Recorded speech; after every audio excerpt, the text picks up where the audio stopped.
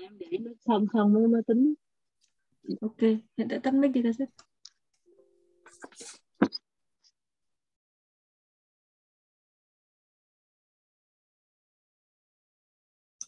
Hồng Nhâm bật lên để đọc chưa? à, sếp Hồng Nhân đọc trước à Ừ. Sếp Hồng Nhâm. À, sếp Thảo đọc trước à? Sếp Thảo bật lên. Dẹp trước nhé. Chương 3. Giá trị thứ nhất, cơ hội ngang bằng sự thật. Ngang bằng thật sự. Sếp có muốn nghe nhạc không hay là em đọc không, em đọc không nhỉ? Em thì có nhạc em đọc có được cơ. Không cũng hay mà. Vậy thế.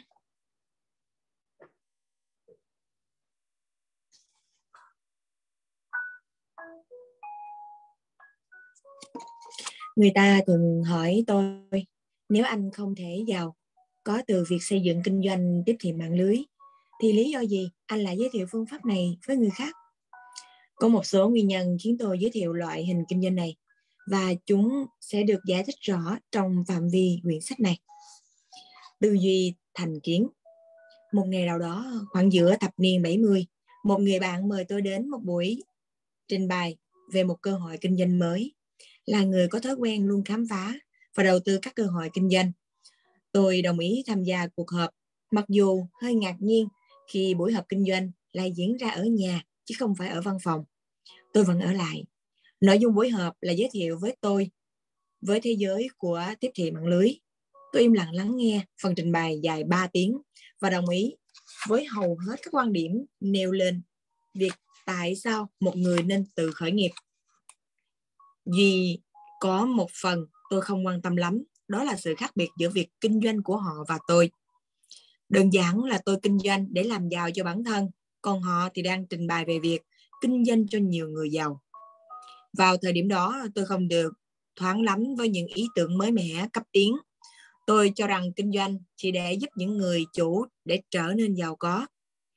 Cuối buổi tối hôm đó, bạn người bạn hỏi tôi nghĩ sao về cơ hội kinh doanh vừa trình bày. Câu trả lời của tôi là cái đó cũng thú vị nhưng không dành cho tôi. Khi được hỏi tại sao, tôi trả lời tôi đã xây dựng xong việc kinh doanh cho của mình. Tại sao lại phải xây dựng kinh doanh với những người khác? Tại sao tôi lại phải giúp họ? Ngoài ra tôi còn nghe một số tin đồn rằng kinh doanh tiếp thị mạng lưới kiểu này là lừa đảo và không hợp pháp. Không kịp để người bạn nói lời nào, tôi đã đi thẳng đến xe và lái đi. Vào thời điểm giữa năm 1000 giữa năm 70 đó, tôi đang xây dựng công việc kinh doanh quốc tế đầu tiên của mình. Vì vậy, tôi vừa bận rộn các công việc hàng ngày, vừa phải tranh thủ xúc tiến việc kinh doanh riêng trong thời gian rảnh. Công ty vừa sản xuất vừa làm tiếp thị, nhắm đến tung ra thị trường loại ví ni lông dành cho người lướt ván. Chẳng bao lâu sau, lần họp đầu tiên về tiếp thị mạng lưới, công ty kinh doanh ví thể thao của tôi phát lên nhanh chóng. Hai năm trời làm việc cật lực của tôi đã được tưởng thưởng xứng đáng. Thành công danh tiếng và tiền bạc đến với tôi và hai cộng sự. Chúng tôi đã đạt được mục tiêu của mình, trở thành tỷ phú trước tuổi 30 và vào những năm 1970, một triệu là một số tiền không nhỏ. Tên công ty và sản phẩm được nhắc đến trên các tạp chí như Sheffer, Runner, Water và Goldman Quarterly. Sản phẩm của chúng tôi rất hot trong thế giới đồ thể thao. Đơn đặt hàng đồ và đến từ khắp thế giới, khắp nước trên thế giới. Công việc kinh doanh quốc tế đầu tiên của tôi đang đi lên một cách nhanh chóng. Vì thế khi nghe trình bày về cơ hội kinh doanh tiếp thị mạng lưới, tôi không thấy hứng thú vì và cũng không muốn nghe tiếp. Phải mất đến nhiều năm sau, tôi mới thực sự mở lòng, đủ để lắng nghe và bắt đầu thay đổi quan điểm của mình về ngành này. Tôi không hề nghĩ ngợi gì đến tiếp thị mạng lưới này nữa cho đến năm đến 15 năm sau đó. Trời ơi, lâu vậy. Sự thay đổi trong suy nghĩ. Vào những năm 1000, vào những năm đầu thập niên 90, một người bạn mà tôi rất tôn trọng vì sự khôn ngoan trong tài chính và rất thành công trong công ty kinh doanh cho biết ông đang tham gia kinh doanh tiếp thị mạng lưới. Bin rất giàu, có từ công việc đầu tiên đầu tư bất động sản, nên việc ông tham gia vào hình thức kinh doanh này thật sự làm tôi khó hiểu. Tôi tò mò hỏi, tại sao anh lại tham gia vào lĩnh vực kinh doanh này? Anh đâu cần thêm tiền, phải không? Bình bật cười lớn rồi trả lời. Anh biết là tôi thích kiếm tiền mà. Nhưng tôi tham gia vào lĩnh vực này không phải vì tôi cần tiền. Tài chính của tôi đang rất tốt mà. Tôi biết rằng Bin vừa mới hoàn thành xong một dự một số dự án bất động sản thương mại đáng giá hơn 1 tỷ đô la trong hai năm qua và cũng biết rằng anh ấy đang làm ăn rất tốt. Vì thế câu trả lời mập mờ của Bin làm cho tôi tò mò và hỏi tới. Thế tại sao anh lại cần công việc kinh doanh tiếp thị mạng lưới này? Bin suy nghĩ một lúc rồi trả lời bằng cái giọng chậm chậm của vùng Texas. Trong nhiều năm, nhiều người hỏi xin tôi một vài lời khuyên cho việc đầu tư bất động sản. Họ muốn biết đầu tư bất động sản như thế nào để giúp họ giàu. Nhiều người tỏ ý luôn luôn muốn hợp tác đầu tư chung với tôi và muốn biết làm thế nào để có thể tìm ra những dự án bất động sản mà không lo bị lỗ. Gật đầu đồng tình, tôi nói. Tôi cũng bị hỏi những câu tương tự. Vấn đề là, Bin tiếp tục. Đa số họ không thể hợp tác đầu tư với tôi vì họ không có đủ tiền. Họ không có 50.000 đô la hay 100.000 đô la cần thiết để đầu tư vào những dự án bất động sản tầm cỡ của tôi. Với với lại lý do mà rất nhiều người trong số họ không muốn bị lỗ là vì họ thật ra họ không hề có tiền. Một vài người trong tình trạng sắp bị phá sản. Vì thế họ tìm đến những thương lượng không bị lỗ mà những thương lượng kiểu này thường không bảo đảm. Cả tôi và anh đều biết những thương lượng bất động sản ngon ăn nhất thường nằm trong tay những người giàu, nhiều tiền, chứ không phải là cho những ai không có tiền. Tôi gật đầu đồng tình. Tôi hiểu. Tôi nhớ là mình đã từng nghèo đến độ không có một nhà băng hay một đại lý bất động sản nào thèm để ý đến tôi.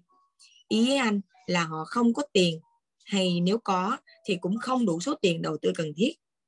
Họ không đủ giàu cho sự đầu tư của anh phải không? biên gật đầu. Và trên hết nếu họ có một ít tiền thường đó là để dành dụm cả đời. Anh cũng biết là tôi không tán thành việc đầu tư tất cả những gì mình có mà. Nếu họ đầu tư bằng số tiền tiết kiệm cả đời đó, họ luôn cạnh tranh, họ luôn canh cánh bị thua đến nỗi cuối cùng thành ra thua thật. Cả anh và tôi đều biết, người nào hay lo sợ bị thua thì thường sẽ thua cuộc. Cuộc nói chuyện giữa tôi và bin chỉ tiếp tục thêm vài phút nữa vì tôi phải đến ngay sân bay tôi vẫn không hiểu rằng lý do tại sao bin lại tham gia vào hình thức hình thức kinh doanh này, nhưng thật sự cách nhìn của tôi đã bắt đầu thoáng hơn. Tôi bắt đầu để ý đến lý do tại sao mọi người giàu có như bin lại phải cần đến hình thức này. Và tôi dần dần nhận ra rằng có điều gì đó khác ở hình thức kinh doanh này, chứ không đơn thuần là chỉ vì tiền. Vài tháng sau, tôi và bin lại có dịp tán gẫu tiếp. Tôi hiểu ra được lý do anh tham gia vào công việc kinh doanh này. Một bin muốn giúp đỡ người khác. Đây là một lý do chính khiến anh tham gia vào công việc này. Mặc dù rất giàu, anh ta không phải là người tham gia, tham lam và kiêu ngạo. Hai, bin muốn giúp đỡ chính bản thân mình. Anh phải giàu để có thể đầu tư với tôi. Tôi nhận ra rằng nếu tôi giúp càng nhiều người làm giàu, tôi lại càng có nhiều nhà đầu tư. Bin tiếp tục, trớ treo là tôi càng giúp nhiều người giàu lên nhờ tự kinh doanh công việc kinh doanh của tôi lại càng phát triển và tôi càng giàu hơn nữa. Hiện giờ tôi đang giúp trong tay công việc phân phối đến khách hàng rất phát đạt, có nhiều nhà đầu tư hơn và bản thân có nhiều tiền hơn để tiếp tục đầu tư. Hãy nói đến trường hợp hai bên cùng thắng. Đó là một lý do tại sao trong một vài năm trở lại đây, tôi bắt đầu vào đầu tư những dự án bất động sản lớn hơn rất nhiều. Như anh thấy đấy, rất khó để thật sự làm giàu khi đầu tư vào những thương lượng bất động sản nhỏ bạn cũng có thể đầu tư được, nhưng nếu như bạn không có nhiều tiền, tất cả những gì bạn có được chỉ là những thương lượng bất động sản mà những người có tiền không thèm để ý tới. Ba Bin thích học hỏi và truyền đạt kiến thức. Tôi thích làm việc với những người ham học hỏi. Bin nói với tôi trong những buổi thảo luận sau đó của chúng tôi, thật là chán khi làm việc với những người nghĩ mình biết tất cả. Trong thế giới đầu tư đất cộng sản này, tôi phải làm việc với nhiều người như thế làm việc với người nghĩ rằng mình biết hết mọi câu trả lời thì thật khó chịu đối với tôi những người bắt đầu công việc tiếp thị mạng lưới là những người đang tìm kiếm câu trả lời mới sẵn sàng học hỏi tôi thích học hỏi truyền đạt kiến thức kinh doanh và chia sẻ những ý tưởng mới với những người thích thú với công việc với việc truyền đạt đó. Như anh biết, tôi thường học qua kế toán và có bằng thạc sĩ. Tôi từng học qua kế toán và có bằng thạc sĩ về tài chính. Công việc kinh doanh này cho tôi cơ hội truyền đạt những gì tôi biết và song song đó tiếp tục học hỏi từ những người khác. Anh hẳn sẽ ngạc nhiên khi biết rằng có rất nhiều người tài học giỏi hoặc thức cao, học thức cao đến từ nhiều tầng lớp khác nhau tham gia vào hình thức này và cũng có nhiều người không khác, không qua trường lớp giáo dục bài bản nào tham gia vào công việc này để có thể học hỏi được những kiến thức cần thiết cho sự đảm bảo tài chính trong thế giới ngày càng ít đi ít đảm bảo về công việc. Chúng tôi ngồi cùng ngồi lại và chia sẻ những kinh nghiệm cuộc sống cũng như những gì chúng tôi đã học hỏi. Tôi thích truyền đạt kiến thức và thích được học hỏi. Đó chính là lý do tôi yêu thích công việc kinh doanh này. Đây là hình thức kinh doanh tuyệt vời và một môi trường kinh doanh thực tế đúng nghĩa. Ừ, cảm ơn sĩ thảo nhé. Hồng nhan đọc tiếp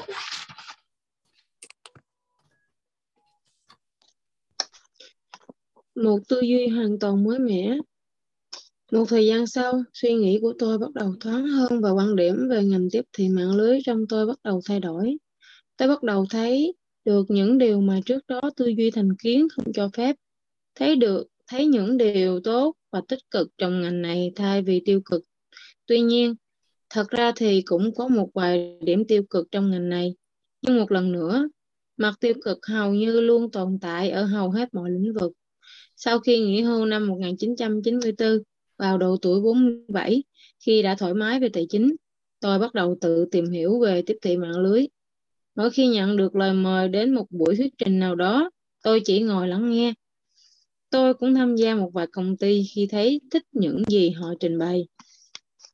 Tuy nhiên, việc tham gia đó không xuất phát vì tiền mà là để có cái nhìn đúng đắn hơn về mặt tích cực và tiêu cực của từng công ty. Thay vì chỉ bảo thủ không lắng nghe, tôi muốn tự tìm ra câu trả lời cho riêng mình. Sau khi xem xét một số công ty, tôi nhận ra mặt tiêu cực mà hầu hết mọi người đều nhận ra từ rất sớm. Ví dụ, có những người lạ vừa mới tham gia và đã tự quảng cáo cho công việc kinh doanh của họ. Sự thật là có rất nhiều người bị cuốn hút vào hình thức kinh doanh này. Những người mơ tưởng hảo huyền, những người thực sự làm việc tích cực, những kẻ lừa đảo, những người thua cuộc và những và cả những nghệ sĩ đang giàu lên nhanh chóng. Một trong những thách thức cho kinh doanh tiếp thị mạng lưới chính là chính sách mở cửa của họ, cho phép hầu như tất cả mọi người tham gia. Chính sách mở cửa chính là cơ hội công bằng mà các nhà hoạt động xã hội luôn kêu gào đấu tranh. Nhưng tôi chẳng thấy bất kỳ một nhà hoạt động xã hội nòng cốt nào tham gia vào những buổi họp kinh doanh.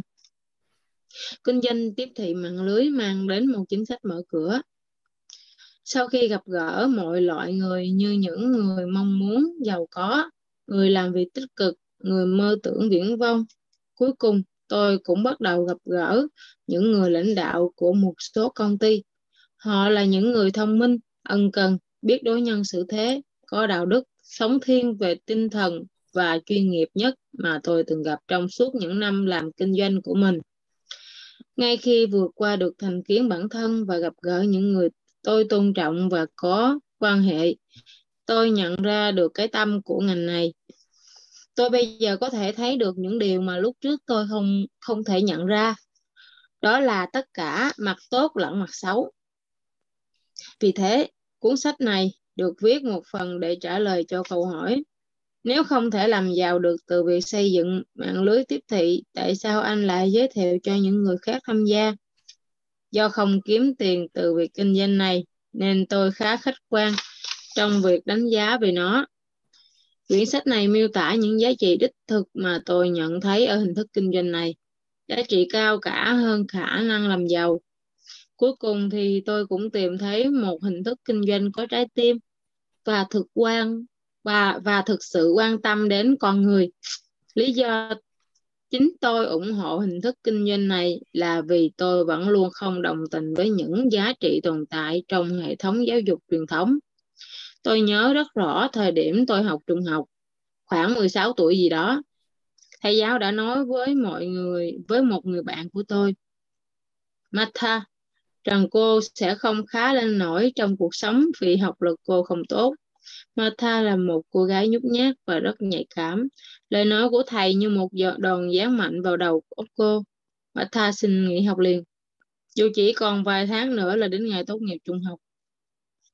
Trong thời gian tôi còn làm việc ở Xerox, ba tháng liền kết quả bán hàng của tôi của một đồng nghiệp không tốt. Thay vì giúp đỡ Ron thì giám đốc bộ phận bán hàng lại bắt đầu đe dọa anh. Tôi vẫn còn nhớ người sếp đó của chúng tôi nói rằng nếu như anh không bán được hàng, anh sẽ bị cho thôi việc. Ron xin nghỉ việc một tuần sau đó. Vì thế, một lý do khác khiến tôi ủng hộ tiếp thị mạng lưới là vì trong hầu hết trường hợp, công ty là những doanh nghiệp rất có tình nghĩa. Nếu bạn vẫn sẵn sàng bám trụ, cùng lúc tự mình học hỏi, nghiên cứu, công ty sẽ luôn bên bạn. Nhiều công ty kinh doanh mạng lưới thực sự là những doanh nghiệp công bằng. Nếu bạn đầu tư cả tiền bạc và sức lực, họ cũng vậy. Mặc dù tôi không tham gia kinh doanh ở mạng lưới này, tôi vẫn ủng hộ các doanh nghiệp đề cao tình cảm con người và cơ hội công bằng thực sự.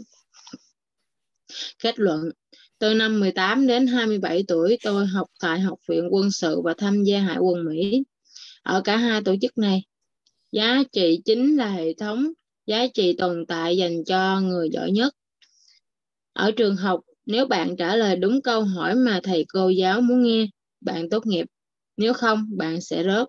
Trong hải quân, nếu bạn làm đúng những gì, nếu bạn làm đúng như những gì bạn được huấn luyện, bạn sẽ sống sót trong cuộc chiến. Trong chiến tranh, sự sống sót dành cho các cá nhân biết thích nghi để thể hiện rõ ràng nhất.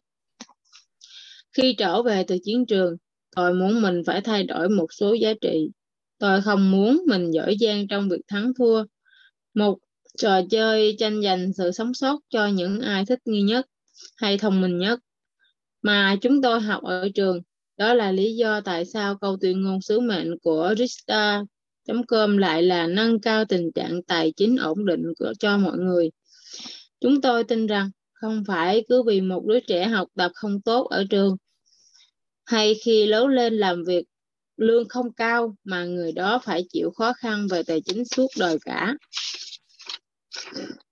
Một lý do một lý do khác khiến công ty Rista ủng hộ rất nhiều người trong hệ thống tiếp thị mạng lưới này là vì chúng tôi cảm thấy nhiều người trong hệ thống này chứ không phải tất cả đều có chung một sứ mệnh.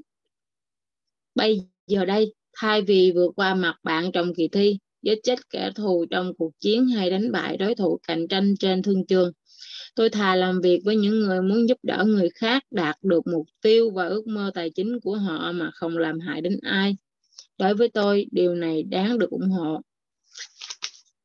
Công ty Rista nhận quản lý trò chơi Cashflow cho trẻ và biến nó thành trò chơi tương tác trên mạng. Trò chơi này cũng mang hình thức một chương trình học trên lớp cho độ tuổi từ 5 đến 12. Trò chơi tương tác này và chương trình giảng dạy được tải lên trên hệ thống mạng miễn phí và không có quảng cáo thương mại. Đây cũng là cách chia sẻ những tài sản mà công việc kinh doanh chúng tôi may mắn có được. Đây cũng là cách tự nhắc nhở mình nên rộng lượng hơn và th là tham lam. Những trò chơi thư giãn và chương trình giảng dạy truyền đạt cho những người trẻ khắp thế giới một số kiến thức và kỹ năng tài chính cơ bản mà người cha giàu đã dạy tôi khi còn nhỏ. Nhiều năm trước, John Lennon nhóm The Beatles dạy cả thế giới bài hát Hãy cho hòa bình một cơ hội. Hãy đem đến cho mọi đứa trẻ nền giáo dục về tài chính một cách công bằng. Chúng tôi tin rằng cách đem lại hòa bình tốt nhất chính là việc tích cực chấm dứt cái nghèo. Và chúng tôi cũng tin rằng cách tốt nhất để chấm dứt cái nghèo chính là việc giáo dục về tài chính chứ không phải phân phát tiền bạc. Như người cha giàu thường nói, nếu con cho người nghèo tiền, con chỉ đang làm cho họ nghèo hơn. Ngày nay, nhiều công ty tiếp thị mạng lưới đang mang lại hòa bình thông qua những cơ hội làm ăn trên khắp trên thế giới. Không những đầu tư tại cả các thủ đô lớn trên thế giới, nhiều công ty trong số đó đang hoạt động tại thế giới thứ ba. mang đến những cơ hội tài chính cho hàng triệu người sống trong cảnh bần cùng. Hầu hết các doanh nghiệp truyền thống chỉ tồn tại được ở những nơi có người giàu và giàu có và có tiền để tiêu xài. Đã đến lúc tất cả mọi người trên thế giới cần có cơ hội công bằng để tận hưởng cuộc sống giàu có và đầy đủ, chứ không phải là cực lực để giúp người cha để giúp người giàu càng giàu hơn. Nếu khoảng cách giữa người giàu và người nghèo càng xa, thì cơ hội cho hòa bình càng khó khăn hơn. Giá trị tiếp theo, chương sau sẽ nói về giá trị của giáo dục làm thay đổi cuộc sống con người mà những công ty tiếp thị mạng lưới đem lại. Nếu bạn là đã sẵn sàng tiến hành những thay đổi tài chính trong cuộc sống, chương tiếp theo này là dành cho bạn. Em xin hết. Cảm ơn Hồng Nha, cảm ơn Thanh Thảo. Cái này ngắn nhỉ? Nhưng mà thôi hôm nay là Giáng sinh nên chúng ta đọc cả ngắn ngắn thôi. À, mời Hồng Nhan với cả Thanh Thảo phát bài ở trước nhé. Đọc bài trước nhé. Um, em thích ở cái chương 57 ấy. À, là cái tiếp thị mạng lưới thì họ là những người thông minh những lại lãnh đạo công ty khác ấy. họ là những người thông minh ân cần biết nối nhân sự thế có đạo đức sống thiên về tinh thần và chuyên nghiệp nhất mà tôi từng gặp trong suốt những năm làm kinh doanh của mình à, có nghĩa là mình ở trong đây là cái trường để mình rèn luyện lên khi mình đã một nhà lãnh đạo mình trở thành nhà lãnh đạo rồi thì cái em nghĩ cần thiết nhất là cách đối nhân xử thế ừ. tại mình làm việc con người với con người với nhau ấy. mình mình mình không biết hòa mình vào mình không biết ừ, chứ mình không biết uh, thế nào nhỉ? Không biết chiều lòng người khác thật sự là khó làm. Ừ. em nghĩ là cái tôi của mình nên hạ là cái cái cái quan trọng nhất. Và um, em thích ở cái câu là nếu không làm không thể làm giàu được từ việc xây dựng tiếp thị mạng lưới thì tại sao lại giới thiệu những người khác tham gia? Ừ. nếu mà công ty tiếp thị mạng lưới mà nó không giúp được người nghèo lên em thích ở cái trong cái kinh doanh mạng lưới này là sao? Từ những người nghèo nhất những người không có tiền họ cũng có thể trở nên giàu có cái đó là cái cái quan trọng nhất mà em nhìn trong cái tiếp thị mạng lưới. Chứ không phải là cái sân chơi chỉ dành cho người giàu. Giàu thì tất nhiên họ sẽ giàu thêm rồi. Nhưng mà làm sao mình giúp được những người họ không có tiền, họ cũng trở nên giàu. Thì cái này là cái quan trọng nhất mà em cảm thấy trong tiếp thị mạng lưới nó mang được. Ừ, và mình cảm thấy mình có lợi như thế nào. Mình thấy mình phát triển bản thân được, mình thấy mình kiếm tiền được thì mình mới giới thiệu cho người khác được. À, nên là em nghĩ là cái ngành này rất là tuyệt vời dành cho những người, từ những người không có tiền. Cảm ơn sếp hồng nhan đọc sách nhất cảm ơn thanh thảo. Là đây là cái sân chơi mà không chỉ dành cho người giàu đúng không ạ? À, cảm ơn thanh thảo rất là nhiều. Mời hồng nhan. Ừ, cảm ơn sếp thảo cảm ơn sếp. À, em thì em thích cái chỗ mục hai Bill muốn giúp đỡ um, chính bản thân mình ấy. anh phải làm giàu anh phải giàu để có thể đầu tư với tôi. Tôi nhận ra rằng nếu tôi giúp càng nhiều người làm giàu tôi lại càng có nhiều nhà đầu tư. Chớ trêu là tôi càng giúp nhiều người giàu lên nhờ tự kinh doanh, công việc kinh doanh của họ lại càng phát triển và tôi càng giàu hơn nữa. Mình càng giúp đỡ thì mình, mình lại được có cái lợi nhuận trong đó là không phải là lợi nhuận về tiền bạc không, mà cả tình cảm và cái niềm tin của người ta đặt cho mình. Mình càng giúp đỡ nhiều người thì nhiều người lại tìm đến mình. Và từ đó nhiều cái công việc nó phát triển hơn thì mình cũng kiếm được tiền ở trong đó. Mình cứ theo như kinh doanh truyền thống thì mình không thể chia sẻ cái bí quyết của mình cho người khác được. Tại vì nếu như mà mình chia sẻ bí quyết của mình cho người khác thì mình đương nhiên mình sẽ bị mất khách hoặc là mất doanh thu. Còn ở đây kinh doanh mạng lưới thì phải chỉ, mình phải chỉ cho cái người làm chung với mình.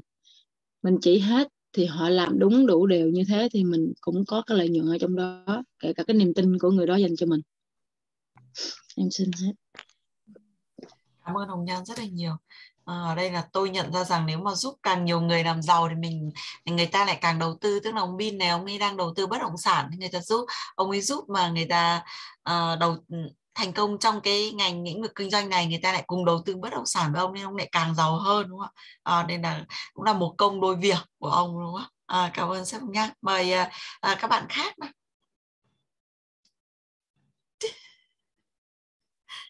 em nhé thấy chú chim. cảm ơn uh, hai sếp đã đọc sách. Là em uh, chỉ nghe thôi chứ em không có đọc. Thì uh, cái công việc của chúng ta thì mang ý nghĩa tới tất cả cho mọi người. Mình làm việc để uh, cho ai ai cũng được giàu có. Ai cũng nếu mà không những cái người mà nếu mà mình có tiền thì mình đầu tư vào bất động sản hay là mình làm à, mở một cái công ty lớn để thuê người làm. Thì như thế thì mình mình còn à, giàu được còn này mình không có tiền thì mình chọn cái con đường này để mình trở nên giàu có được. Và ở đây ai ai cũng làm được. Thật sự ở đây ai ai cũng làm được nên chúng ta chỉ cần uh, nỗ lực và uh, đầu tư thời gian vào đây thôi. Em chắc chắn thì sẽ công ty của chúng ta sẽ ừ, có thể thành công cảm ơn các sếp. Thank you thu hồng. Là đầu tư thời gian và sự nỗ lực vào đây đúng không ạ? À, mình thấy phạm hòa bật máy bật mic định nói đúng không? Mời phạm hòa. Vâng hello các sếp. Cảm ơn các sếp uh, hai sếp đã đọc sách cảm ơn uh, ý kiến đóng góp của chúng ta ở những cái chương này. Thì em ở chương này em thích ở cái đoạn mà gần cuối của trang 56 và gần đầu của cái trang 57 đó ạ thì ở đây nó đang rất rõ về cái lĩnh vực mà chúng ta đang làm.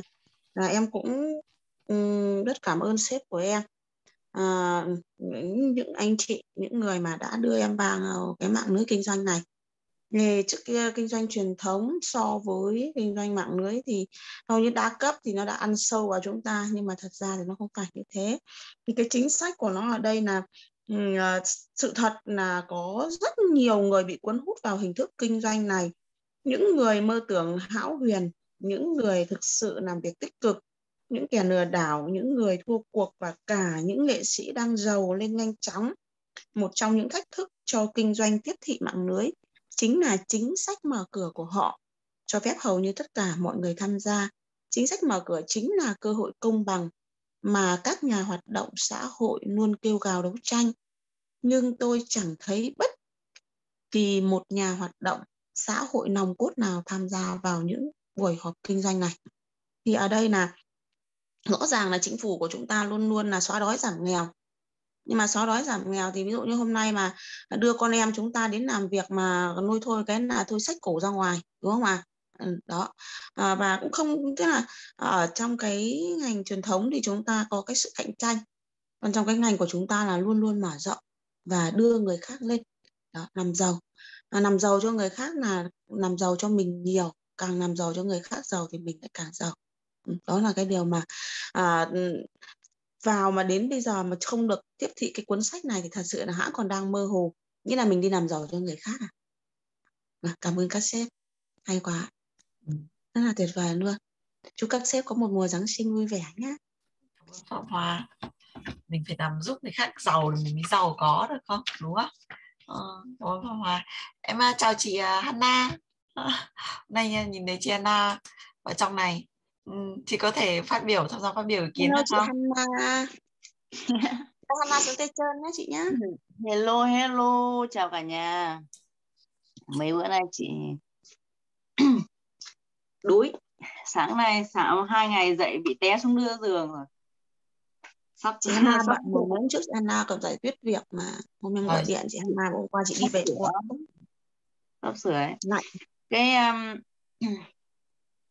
cái cái cái cái cái quyển sách này đang phân biệt cho chúng ta về cái nhận thức giữa kinh doanh truyền thống và kinh doanh mạng lưới thì chị thì trước giờ chị chưa có kinh doanh thực ra là chị chưa có khái niệm về kinh doanh truyền thống với là kinh doanh mạng lưới nhưng mà để mà so sánh ấy, thì chị thấy là chị được tiếp xúc với kinh doanh mạng lưới nhiều hơn là kinh doanh truyền thống. Tại vì sao? Tại vì là chị có từng biết đến à, Amway biết đến um, uh, cái gì nhỉ? Secret biết đến uh, atomy rồi uh, bây giờ là đến Asili thì nói chung là uh, hình như là trong trong trong trong cái máu chị nó không có cái máu kinh doanh nên là chị cũng không có ham kinh doanh lắm. Mình cứ làm cứ làm vậy thôi nhưng mà chị thấy là nếu mà so sánh giữa kinh doanh truyền thống và kinh doanh mạng lưới thì bây giờ chị có cái nhận định nó khác ở chỗ là kinh doanh mạng lưới á, là cơ hội công bằng cho tất cả mọi người. Nếu mình muốn làm giàu thì công bằng cái cơ hội đó là cơ hội công bằng. Còn những người đã vào kinh đã vào cái hệ thống rồi ấy đã vào cái hệ thống rồi thì họ có cơ hội để học hỏi để phát triển bản thân. Đó là một cái lợi thế.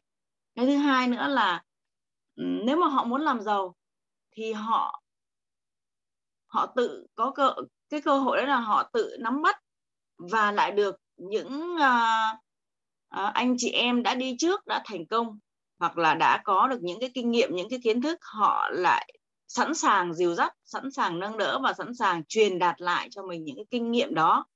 Để mình đi sau mình không bị vấp váp hoặc là mình đi sau mình có thể tiến nhanh hơn. Đó là cái cơ hội mà ở trong cái kinh doanh truyền thống không bao giờ có. Tại vì kinh, kinh doanh truyền thống là làm chủ có người làm chủ và có người làm công. Còn ở đây là không ai làm chủ cũng chẳng ai làm công cả. Thế cho nên là cơ hội là cơ hội công bằng cho tất cả mọi người. Sau đó là mình lại có cơ hội mình giúp đỡ người khác đúng không? Mình có cơ hội mình giúp đỡ những người khác nữa.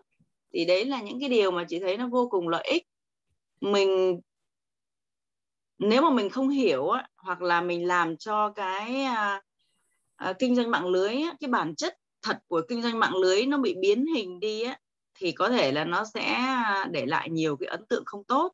Nhưng nếu mà mình làm đúng mình làm đúng thì chị nghĩ là kinh doanh mạng lưới rất là tuyệt vời tại vì sao? Tại vì ở đó là một cái môi trường mình có thể học hỏi, phát triển bản thân.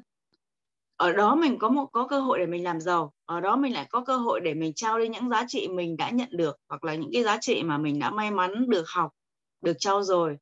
rồi mình lại có đồng đội, tức là ở cái kinh doanh mạng lưới thì mình không bị đe dọa, không bị sợ đuổi việc, không bị ai ai ghét bỏ hoặc là ai ai ai ai đe dọa mình, đúng không? Người ta chỉ có muốn mình phát triển hơn, tạo điều kiện cho mình thôi. Nếu mà mình muốn thì mình hòa mình vào. Còn mình không muốn thì mình tự nghỉ. Còn ở trong cái kinh doanh truyền thống không làm được việc thì nghỉ. Không có cái chuyện mà người ta trả tiền cho mình tới đó để ngồi chơi hoặc tới đó để mà à, làm cho có hoặc làm qua loa quyết luyết đúng không? Còn trong kinh doanh mạng lưới thì thích thì làm không thích thì nghỉ. Thế thôi đúng không? Nếu mà mình muốn làm giàu thì mình tự mình tự tự mình cố gắng tự mình nỗ lực và tự mình gầy dựng cái hệ thống của mình. Còn nếu mình không muốn làm giàu nữa thì mình nghỉ thôi. Không ai bắt mình nghỉ cũng không ai không ai đe dọa mình cả mà luôn luôn tạo điều kiện luôn luôn khuyến khích mình để mình phát triển hơn mình có cái nhận thức tốt hơn còn đằng bên bên kinh doanh truyền thống thì làm được việc cho tôi thì làm không làm được việc cho tôi thì biết đúng không đó là cái à, sự khác biệt mà chị à, chị chị chị thấy là trong cái kinh doanh mạng lưới rõ ràng là nó có nhiều cái giá trị để mình có thể học hỏi hơn ừ. Dạ. xin hết nhé vâng cảm ơn chị Anna. À, nghe chị Anna nói mà em cứ ngỡ là chị Anna có cái kinh nghiệm ở trong ngành này nó phải là mấy chục năm rồi ấy. Phân biệt rõ ràng quá trời luôn. Nhưng mà nói thì không làm luôn. đúng không? Phân biệt rất là rõ giữa là kinh doanh truyền thống và uh, kinh doanh hệ thống mạng lưới. Ồ, tuyệt vời quá. Cảm ơn chị Anna rất là nhiều. Mời Châu Mai. Hello, cảm ơn nghe sếp đã đọc sách ở đây um, mình đọc uh, mình liên tưởng đến ngày xưa bên um, Việt Nam mà mình thi đỗ trạng nguyên á. bên Việt Nam ngày xưa mà chỉ có học hành xong mới được nói chuyện chứ không thôi là chỉ đứng nép mà nhìn từ xa thôi chứ đừng nói mà được lên tiếng nha. Mình mới quên liên tưởng đến ngày xưa mà đỗ trạng nguyên mà về làng á trời cả làng ra đó mà rất là nhiều người cả hâm hâm mộ những người mà học mà tốt nghiệp phải không? Chứ không phải bây giờ tốt nghiệp rồi hay không cũng chẳng ai biết. Là à, mình à, đọc qua mình cảm nhận điều là cái công việc này là nó có cái sự công bằng công bằng ở đây. Giống như là cái câu ở trang um, 59 á, ở cái dòng kết luận ấy ở trường học nếu bạn trả lời đúng câu hỏi mà thầy giáo muốn nghe bạn sẽ tốt nghiệp. Nếu không bạn sẽ rớt. Còn trong hải quân nếu bạn làm đúng như những gì bạn được huấn luyện bạn sẽ sống sót trong cuộc chiến. Trong chiến tranh sự sống sót dành cho các cá nhân biết thích nghi thể hiện rõ ràng. Này là cái uh, trò chơi đó ai thông minh ai ai ai sống còn ấy nhưng mà khi um, à, ở trong cái mạng lưới á, cái trang à, 60 á trang 60 uh, à, tiếp thị mạng lưới một lý do khi, khác khiến công ty Ritdex ủng hộ rất nhiều người trong hệ thống tiếp tiếp thị mạng lưới là vì chúng tôi cảm thấy nhiều người trong hệ thống này chứ không phải tất cả đều có chung một sứ mệnh bây giờ đây thay vì vượt qua mặt bạn trong kỳ thi, giết chết kẻ thù trong cuộc chiến hay đánh bại đối thủ cạnh tranh trên đường thương trường. Tôi thà làm việc với những người muốn giúp đỡ người khác đạt được mục tiêu và ước mơ tài chính của họ mà không làm hại đến họ. Đối với tôi điều này đáng được ủng hộ. Ừ, đúng rồi. mà thường ờ, nếu mà mình phân biệt cái sự rõ ràng đó là mình ở đây mình giúp đỡ lẫn nhau thì ờ, người khác người khác uh, thành công thì mình mình mới có cái sự thành công ở trong đây nên là nó có cái sự không có không có cái sự gọi là um, chết dạng như là một sống một còn một một chết á thì như vậy không có. Thì chỉ là mình hình thức là giúp đỡ nhau để mà cùng nhau thành công. Và hồi nãy có cái câu gì? Nếu cho con người à, người nghèo tiền con chỉ ừ. đang làm cho họ nghèo hơn cái câu của người cha giàu ấy mình cứ cho họ như mình nuôi con như vậy mình cứ mang cho tiền hoài mình nuôi mình đem cho nó nhưng mà mình không dạy cho con cái cách làm giàu thì nó sẽ nghèo cả đời. Mọi người dạo này có xem trên cái cái youtube cái trang của um, uh, châu phi á? Cái uh, cái gì? Quang quang vinh hả? Quang vinh châu phi á? Cái gì làm làm nông ở châu phi á mọi người? làm nông ờ. ở châu Phi á,อย่างnhư châu Phi từ xưa giờ rất là nhiều người như mình vậy tư tưởng mình cảm thấy nghèo mà mình thấy đồng hoang vắng không à lúc nào lúc nào cũng trong cái cảnh gọi là đau đói nên là tất cả các nước trên thế giới đều có tập trung cho tiền cho tiền suốt vậy đó nhưng mà cứ nghèo là hàng nghèo không bao giờ mà phát triển lên được nhưng mà đợt này cái à, hội cái người Việt Nam của mình đi lao động ở đó và đã cải tiến ra giúp họ cái cách để mà làm nông ấy cái đó cách làm nông và từ lúc đó người người châu phi họ mới biết là cái đất của họ có thể làm nông được. Đấy là bên đó là cái cái vùng đất trống đó ngày xưa nó giống cảm giác như một cái sa mạc đó, không có nước luôn nhưng mà cái cái là họ không biết cách tìm ra nước chứ không nó không phải là không có nước. À, và người Việt Nam mà, mà sang đó đã mang cái kỹ thuật của mình ra uh, để mà làm nông nè rồi tạo ra nước rồi này cái lúc đó là bây giờ người dân họ mới biết cách làm nông biết nuôi cá muốn biết trồng trọt đó cái cách đó là cái cách mình dạy để cho họ uh, họ làm giàu chứ không phải là mình cứ đầu tư cho tiền vào hoài hoài hoài luôn á. Ừ. mình thấy mình áp dụng mình cảm thấy nó đúng quá với là thực tế luôn Ừ. Cảm ơn các sếp. Cảm ơn Trúc Mai. Wow, hay tuyệt vời quá nhờ đúng không? Tại vì mình cứ ừ. thường là à, thấy à, đói nghèo thì mình à, quyên góp, mình ủng hộ, mình cho tiền thôi. Chứ mình lại không dạy họ cách kiếm tiền. Người Việt Nam của chúng ta chứng tỏ rất là tuyệt vời đúng không? Rằng đấy, vì thực ra ở bên Hàn Quốc này ấy, nhất nào đến gần Giáng, đến Giáng sinh này, trước Giáng sinh này kêu gọi ủng hộ thứ rất là nhiều luôn quyên góp các thứ rất là nhiều luôn. Và những ai mà quyên góp thì lên cả trên TV nữa. Nếu như mà ví dụ như là các ờ, mọi người sang bên đấy lao động mà họ chỉ ra cách là tìm ra nước này cách uh, làm lông như vậy á thì ít lắm toàn là uh, đầu tư tiền thôi. Thế nhưng mà đâu biết ngay ngay như là bản thân của huyên cũng vậy thôi. À, tức là thấy gia đình nghèo. Ừ, anh chị em nghèo. Em mình nên là mình bên này mình cứ cố gắng mình kiếm tiền mình cũng kiếm tiền để mình gửi về á mình cứ gửi thì á gửi hầu như là gửi dạng cái dạng là tiêu vặt thôi á. Nên mình không có có biết rằng là mặc dù là mình thương ngay cái lúc đấy thôi mình thấy à khổ quá gia đình mình khổ quá mình gửi như vậy thôi. Nhưng thực ra là mình đang uh, chồng nguyên cũng nói và em đừng có gửi như vậy mà em góp vào. Một khoản nào đó em gửi để có thể đầu tư một cái gì đó. Mình không nghe mình thấy cái khổ trước mắt thôi. Cái tầm nhìn của mình hạn hẹp quá. Nên mình mình ờ, chỉ gửi một chút một chút một thôi nhưng mà chả giúp được gì. Kết quả là mình cũng nghèo mà. Anh chị gia đình gọi là nhà mình cũng nghèo. Cái không có được cái gì cả. Nhưng mà đúng là mình phải là không phải là ờ, cho cá họ mà phải họ dạy họ cách là câu cá. Ừ, đúng. Ừ, cảm ơn châu mai rất là tuyệt vời. À, mời à, thanh thảo. À quên ờ, lê thảo sura ừ. Nhưng mọi người phát biểu ai cũng phát biểu hay quá. Nhất là cái đoạn ờ, cái, cái câu chuyện của sếp Mai nói về bên châu Phi ấy cực kỳ thấm luôn mọi người nhỉ? Cũng bao nhiêu năm nay, kể cả mẹ chồng em như thế tháng nào cũng đều đều tắp là ba man ủng hộ cho cho những cái quốc gia như vậy. Mà chị em mình ờ, như sức khuyên nói là mình có tiền mình chỉ biết gửi về cho người thân thôi. Mà chị em mình sang bên đây bao nhiêu năm đi, cuối cùng thì chốt lại vẫn là ăn rồi đi đáp ứng những cái nhu cầu của những người Việt Nam. Họ nghĩ bên đây mình kiếm được tiền và mình gửi về bao nhiêu cho nó đủ đâu thì mãi mãi họ vẫn cứ nghèo và mình cũng bên đây ăn rồi mãi mãi cũng chỉ đi làm để đáp ứng được cái những cái nhu cầu đấy. Nhiều khi ở bên nhà gọi điện sang là mình cảm thấy run. Vì là gọi điện sang là câu đằng trước hỏi thăm câu đằng sau là mượn tiền à? 90 phần trăm nó là như thế. Nên là mình lâu lâu mà thấy ai gọi điện nó cũng ngán ngán mất máy. Có à, chuyện tới là có tới công chuyện. À, em nghĩ là đấy là chắc là hoàn cảnh chung của tất cả mọi người. Vì chị em mình chưa giàu đến nỗi như là phạm nhật vượng nhưng mà kể cả những người như thế thì chăng nữa bây giờ người ta cũng cho một ai đó cái cơ hội để làm cái gì đó. Chứ không phải như chị em mình là đơn thuần là chỉ cho người ta tiền. Ờ, ờ, ở trong cái lĩnh vực nào thì em cũng thấy có đều người ta viết ở trong đây luôn là ở lĩnh vực nào cũng có những cái mặt tích cực và đều có những mặt tiêu cực cả. Ở đây em em tìm hiểu về bên ờ, lĩnh vực làm đẹp cũng như vậy. Như nói đơn giản là như cái việc mà mà em em đi làm ngực đây này người ta nói rất nhiều về cái vấn đề là tác dụng phụ nhưng mình đều chấp nhận cái tác dụng phụ đó để mình làm đẹp.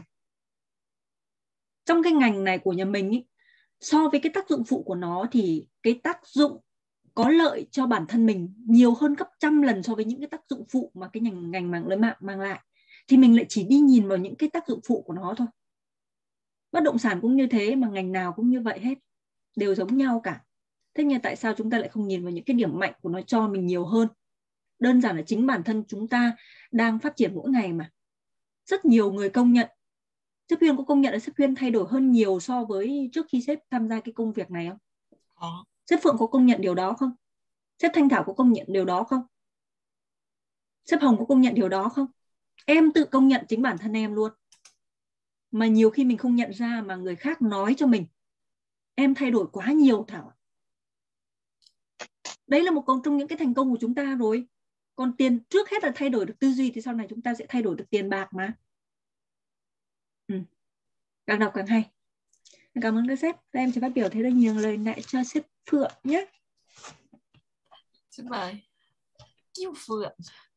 Thời gian ở chúng ta nhiều nhỉ nhưng mà mọi người ừ, mọi người nói nhiều hơn đi tại vì sao là mình đang mình đang nhóm hai mấy người đúng không? Mình đang quen cho nên là đôi khi các sếp suy nghĩ nó hơi hơi ít một chút.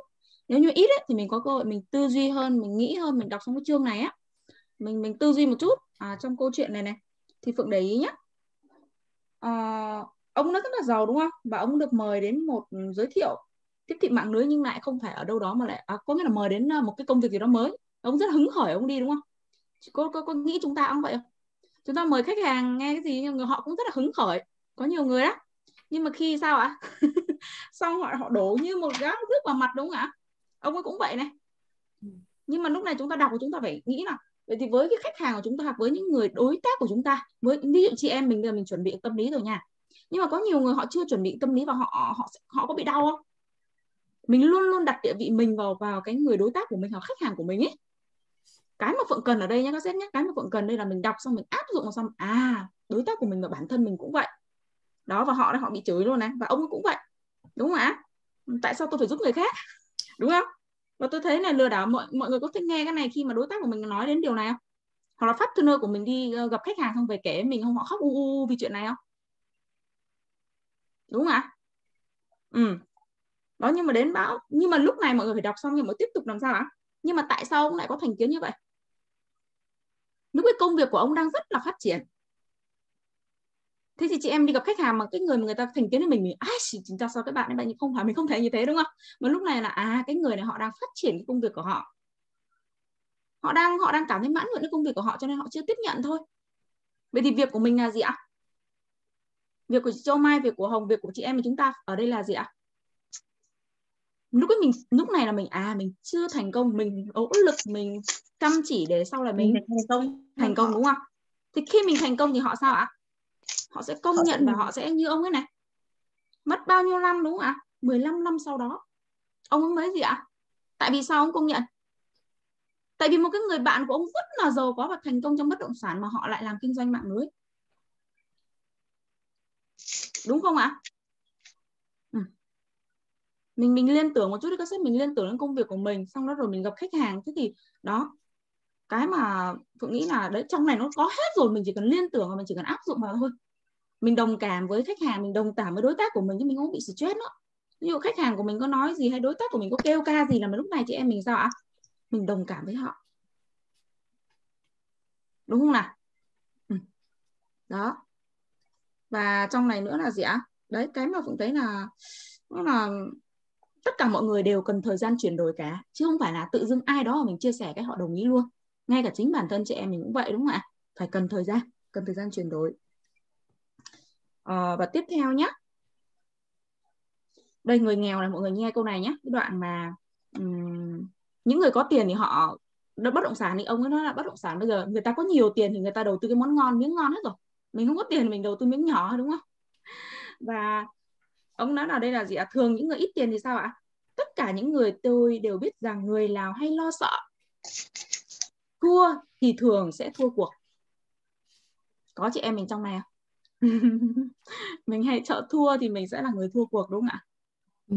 chưa làm mà đã sợ thiệt rồi chưa làm đã sợ thua rồi. Có những người vị kỷ ấy, bản thân phượng trước kia cũng là người vị kỷ. Vị kỷ là chỉ biết đến bản thân mình thôi. Nhưng mà phải là người vị chủng vị kỷ. Nhưng mà trong cái uh, có mấy lý do này ba lý do này. Như là anh ấy muốn giúp đỡ người khác này. Đó mình xem bản thân mình muốn giúp đỡ người khác không nha. Ừ và lý do thứ hai là Vin muốn giúp đỡ chính bản thân mình.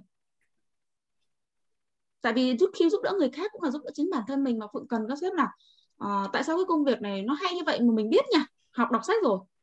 Nhưng mà tại sao mình lại vẫn không ra ngoài chia sẻ? Mình vẫn còn đang e ngại. Thật ra một cộng một cộng ba chỉ đơn giản như thế thôi đó. Nhưng đôi khi mình của bản thân mình còn không làm đều đặn được. Đúng không? Và mình đọc thêm nhé các sếp nhé đi thích học hỏi và truyền đạt kiến thức đây có ba cái lý do đấy. Một là mình muốn giúp đỡ người khác này. Vậy thì cũng như mình áp dụng đi khi mình gặp khách hàng ai là người muốn giúp đỡ người khác? Và ai là người gì ạ? Là cái người mà muốn giúp đỡ bản thân mình ấy, thì mình nói mạnh về cái vấn đề giúp đỡ bản thân mình này. Và ai là người thích học hỏi và truyền đạt kiến thức? Trong này phải nghĩ là chị em mình ở đây mình đều mình muốn điều đó đúng không ạ? Hoặc vừa câu chuyện sếp châu mai kể là người Việt Nam mình rất là thông minh rất là giỏi đúng không? Đó nói là khi cái khi mà đến một cái tội cùng khi một cái đến khó khăn ấy thì cái con người ta ấy, đó. Nhưng mà nhiều người không biết, cứ cho cho. Nhưng mà ông ấy nhìn thấy cái điều đó, đúng không ạ? Người Việt Nam mình vừa cho mai kể đó. Đó. Mình chỉ cho họ, thì mọi người nghĩ, mọi người, mình là người Việt Nam nha. Mình đang ở sống ở Hàn Quốc đi. Mà mọi người nghe câu chuyện, mọi người cảm thấy rung động không? Sướng không? Nghe câu chuyện đấy nó sướng hơn là nghe câu chuyện là ai đó cho nhiều cho ai đó nhiều tiền. Đúng không ạ? Đấy, thì tại sao hỡi chị em mình đi? Thế tại sao mình không làm một cái điều giờ đó mà ngay cả đây, bản thân phượng, nhiều người bảo ừ phượng thế này, phượng kia, nhưng phượng nói thật là phượng vẫn chưa làm gì điều gì cả, chưa làm điều gì lên lịch sử cả. Mình vẫn chưa chưa, gọi là, hết mình với nó. Sao chị em mình đấy bây giờ nhìn lại ba ba rồi, sắp tết là ba tư tuổi rồi. Hôm qua gặp một cái chị, hôm qua phượng đi cắt tóc nha. Đẹp không? Hơi già tí đúng không ạ? Thế là cái chị này, chị nói là chị sang Hàn năm 33 tuổi. Ừ. và chị nói là ờ, từ bé là 17 tuổi chị đã xin tiền đi cắt tóc rồi nhưng mà cái câu chuyện đây phượng muốn nói là ờ, uh, chị có người con gái. Uh, có là mình tính mình hay tò mò người khác là mình hay suy luận mình hay nghĩ. Thế chị nói là con gái chị bây giờ bán hàng online và nó chỉ ở nhà thế nó không biết ra ngoài. Mẹ thì làm nghề tóc đấy. Và chị nói là bây giờ thật ra chị bây giờ chị bảo là bây giờ chị năm mấy tuổi rồi gần bằng tuổi mẹ mình rồi. Nhưng mà cả cuộc đời của chị là chỉ cống hiến như thế và chị nói là nó chỉ vậy thôi. Và con chị ấy nó cứ vị kỷ nó ở nhà thôi. Và mình nhìn bản thân mình ôi chị 33 tuổi chị sang Hàn cuộc đời của chị ấy, chị rất thành công trong nghề tóc. Nói chung là cũng phải không thành công mà chị làm tóc chỉ một mình thôi. Một mình cắt tóc và cứ vậy khách rất là đông. Nhưng chị nói bây giờ chị đau, chị mệt. Và con chị cũng, nói chung không có thời gian dành cho con. Và con không theo nghề mẹ. Và chị cũng rất là lo lắng cho con gái chị ấy. Nhìn chị thì như chị, như mình sau này đến bằng tuổi chị đi. Nếu như mình không làm được cái gì cả hoặc là mình không như nào bản thân mình không phát triển rồi, tại vì chị chỉ có trong nhà thôi, chị chả ra ngoài, chả tiếp xúc với ai cả. Chỉ tiếp xúc với những người khách đến là tối ngày họ cũng than và nói câu chuyện covid, nói câu chuyện này, câu chuyện kia thôi. Đó. nhìn nhận một bé của con bé 24 tuổi rồi, bắt đầu mình nhìn, con mình được 11 tuổi rồi. Oh my god. Nếu như mình không thay đổi thì con mình sau này sẽ như thế nào? Ở Việt Nam mình, phụ nữ Việt Nam bên này rất là đông, các sẽ phải nhìn đến con cái mình nhé con chị em mình nữa vài năm chục năm nữa thôi là con cái người Việt Nam mình bên này sẽ rất là nhiều đó. Nhưng mà nếu như chị em mình không nghiêm túc với công việc nếu chị em mình không nghiêm túc làm những cái điều gì đó nó rất là nhanh lắm thời gian nó trôi đi thật là nhanh. Ờ, mình lên nhìn lại bản thân mình. Bản thân phượng hôm nay đọc cái cuốn sách này ngồi suy luận tư duy mình bản thân mình lại nhìn nhận lại bản thân mình. Ờ, mình đang làm gì? Hàng ngày mình đang làm gì? Và trong cái đó công ty kinh doanh tiếp thị mạng lưới ở trong nữa cũng có hết này. Những người mà thật sự là mình sẵn sàng mình có sẵn sàng ham học hỏi mình có sẵn sàng không? Tôi thích truyền đạt kiến thức và thích được học hỏi. Ừ, mọi người thích mình thích điều đó mà ai cũng thích điều đó đúng không các sếp? Mình thích truyền đạt và thích gì ạ? Được học hỏi. À, gom sức lại với nhau cho em mình nhé. Gom sức lại với nhau và phượng cần cái sức mạnh của mọi người. Tại vì ờ, ở đây không ai một người đều làm nên điều lịch sử cả mà mỗi một người làm một tí mỗi một người làm một chút chúng ta sẽ tạo ra lịch sử. Đúng không ạ? Ok không nào? Rồi cảm ok cảm ơn các sếp. Ờ, cũng là ờ, ở trong này làm đi mình đi tìm đối tác ấy, mình cũng muốn khi mà mình đi tìm đối tác thì mình tìm những cái người như ba cái phần như ba phần của ông Bin này ấy. thứ nhất là giống như Phượng nói là muốn giúp đỡ người khác mình cũng thực ra mình làm mình này mình cũng muốn giúp đỡ người khác này muốn giúp đỡ chính bản thân mình này rồi ờ, thích ham học hỏi và truyền đạt kiến thức. Hầu như là ai trong này cũng vậy. Nên là nếu mà mình à, nó giống như là liên tưởng đến con à, tàu à, vàng của chúng ta ấy. Ừ, tìm con tàu vàng tìm tàu vàng tàu bạc đây là những cái phần mà để mình tìm những ai mà có những cái uh, đức tính này là chúng ta có thể là tham gia một kinh doanh hệ thống mạng lưới là theo có thể theo sâu sâu xa được đúng không ạ? Ừ, cảm ơn tất cả các sếp chúng ta. Uh, dành thời gian chúng ta chụp ảnh nhé ra đọc là ngắn như này thì có thể là chúng ta thảo luận được rất là nhiều mà à, biết được tư duy được uh, của tất cả mọi người nghe được nhiều đúng không ạ? Rồi mọi người cười chưa ạ em bắt đầu nhé ok, được rồi ạ à trong à, đợi một chút xếp hòa bị ấy rồi xếp hòa ừ, gửi cái này vào đã, xong rồi lưu lại chung lại nhé xếp hòa bị mờ mất rồi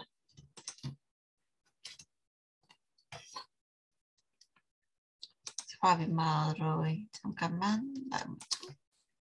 Rồi. hai, ba Ok, tất cả các sếp. Cảm ơn các sếp. Ờ, danh sách của chị Hana lại chưa một. Người ta gửi nhầm à? Chị đặt nhầm. Ờ, chị em mình uh, như vậy như Sản phẩm hết để đấy. ý xong rồi mình uh, có thể trong đây nếu mà còn thời gian ấy nói chung mình mình đọc trong sách này này hoặc là mọi người khó gì mọi người có thể hỏi mình cứ áp dụng đi khi nào nhiều người thì chúng ta lại làm theo cách khác khi ít người thì mình cứ tư duy một chút nó sẽ nói chung mình đọc xong mình phải cảm thấy hưng phấn mình đọc xong mình rút ra bài học gì trong trong cái ngày hôm nay chứ không phải đọc xong rồi để đó. Hay là vào có lệ là mình có thể làm một cái điều gì đó mình, mình... chúng ta chụp sản phẩm đã. Có chụp sản phẩm không? Đó thải mỡ à sếp à, fiber nhé đọc sách không bao giờ là vào cho có lệ được sáng này là phải cần ý chí. Sáng nào cũng phải đấu tranh với ý chí của mình không bao giờ có thể vào có lệ được. Fiber đã tới đây có lệ chỉ được một hôm thôi. Sáng nay nó lạnh âm mấy độ mà? Hôm nay âm 16 âm độ đấy bảo ngày hôm nay là âm 14 độ hay sao bây mà. giờ đã âm 12 độ rồi kìa nào ôi rồi nhá nên là làm thế nào. lát nữa phải mặc thêm cái chân bông ở ngực em sợ ra ngoài ngực nó đông đá chị ạ.